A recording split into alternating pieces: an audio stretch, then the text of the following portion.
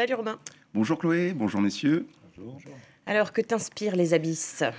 Ah, pour cette émission, je vous avoue que je vais vous faire une chronique un peu spéciale, car oui, je dois vous avouer que quand j'ai appris que le sujet d'aujourd'hui serait les fonds marins, j'ai eu le vertige, hein, parce que les fonds marins, c'est un sujet qui est très euh, vague.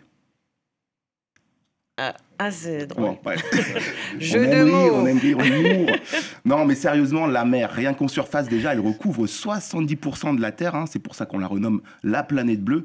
Alors, si en plus on commence à s'y enfoncer dans ces eaux, c'est la noyade assurée sur le, sous le nombre de sujets à aborder. Alors, je pourrais vous parler de littérature, hein, notamment de la mythologie de Jules Verne ou celle de Lovecraft.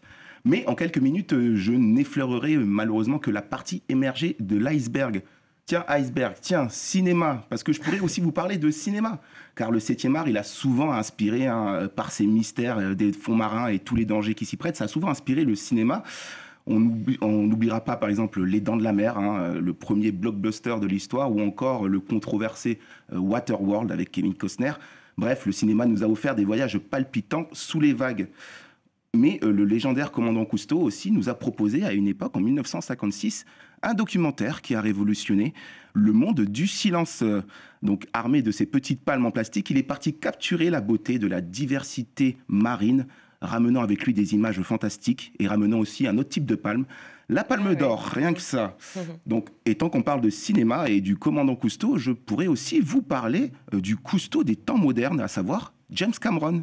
James Cameron, hein, qui en grand passionné des fonds marins, a déjà consacré quatre films à cette thématique. D'autant plus que James Cameron, c'est pas un marin d'eau douce, hein, c'est un vrai explorateur. En 2012, ça a été le premier homme solo à atteindre le fond de la fosse des Mariannes, de la fosse des Mariannes, pardon. Donc euh, voilà, euh, un, un explorateur, un explorateur. Et tant qu'on y est, au fond des océans, je pourrais aussi vous parler des créatures cheloues qui habitent les abysses. Par exemple, en numéro 3, la Baudroie, très connue aussi parce qu'on a pu aussi la voir euh, dans le monde de Nemo, euh, cette euh, créature bizarre que j'aime aussi appeler The Long Frontal Fish. En numéro 2, un très chelou aussi, le requin lutin, hein, qui lui j'appelle euh, aussi le requin alien, tout simplement parce que ça me fait penser à une autre créature Ah oui, chelou. Et en numéro 1, le grand gagnant, le Pochonus plasticus, parce que oui, dernièrement, on a pu en voir au fond des Mhm. abysses et notamment au fond de la fosse des Mariannes, une espèce de la surface qui n'a absolument rien à faire ici. En conclusion, difficile de vous choisir un, un sujet tant l'océan est vaste et tant les fonds marins sont bien plus que de simples étendues d'eau. Ce sont des univers entiers, largement inexplorés, riches en diversité, qui fascinent et inspirent la littérature, l'art en général.